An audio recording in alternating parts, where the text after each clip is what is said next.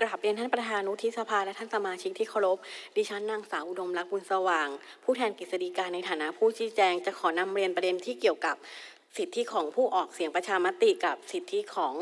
การเลือกตั้งสมาชิกสภาผู้แทนราษฎรกับสมาชิกสภาท้องถิ่นนะคะ ถ้าเกิดมีการจัดให้มีการออกเสียงประชามติ ตรงกันกับวันเลือกตั้งสมาชิกสภาผู้แทนราษฎร หรือเลือกตั้งสมาชิกสภาท้องถิ่นก็ดี คุณสมบัติต่างๆ ของผู้มีสิทธิ์จะเป็นไปตามกฎหมายนั้นๆ เช่น